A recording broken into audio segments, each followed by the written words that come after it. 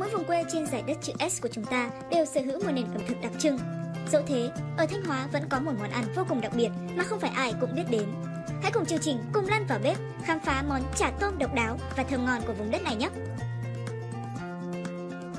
Nguyên liệu chính cần có Tôm tươi Thịt ba chỉ Bánh phở Cùng các loại gia vị cơ bản như muối, tiêu, dầu điều hoặc dầu gấc, hành, tỏi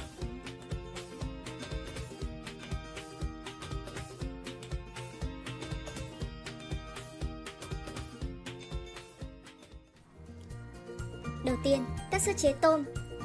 Bỏ đầu, bóc vỏ và bỏ phần chỉ đen ở sống lưng.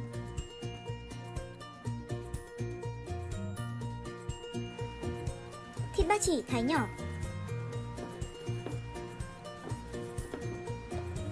Tiếp đến, ta cho thịt ba chỉ và hai thìa cơm nguội vào máy xay.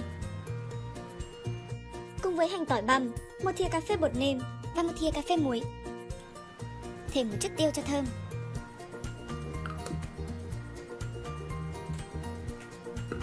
Xay nhuyễn phần thịt trước.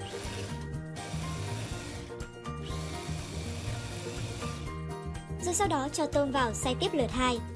Ngoài ra để chả có màu đẹp mắt và trông hấp dẫn hơn, ta cho thêm 4 thìa dầu gấc hoặc nếu có gấc tươi thì càng ngon. Phần nhân sau khi xay xong sẽ được đảo nhanh cho chín tái rồi cho ra bát.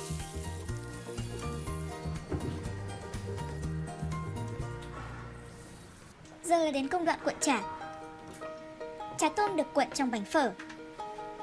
Mỗi miếng bánh phở được cắt chừng 4 x 7 cm, vừa đủ để miếng chả đẹp mắt mà ăn cũng vừa miệng hơn.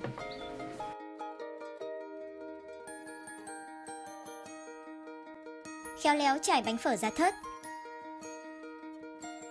Cho nhân tôm thịt vào cuộn nhẹ tay để phần vỏ không bị rách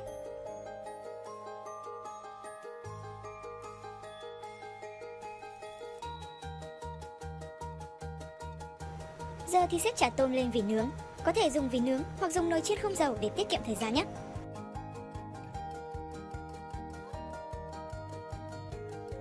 Quét một lớp dầu mỏng lên bề mặt chả.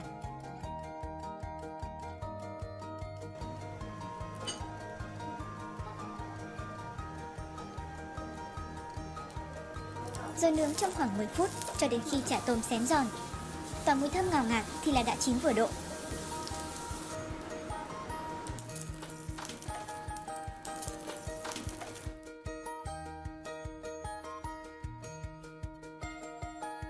Cuối cùng, ta pha nước chấm chua ngọt gồm nước lọc, đường, nước mắm, giấm hoặc chanh quất theo tỷ lệ 2211, rồi cho tỏi ớt băm nhuyễn là xong. Chả tôm ngon nhất là khi ăn nóng, khi đó mùi thơm và hương vị của miếng chả mới thật sự hấp dẫn nhất.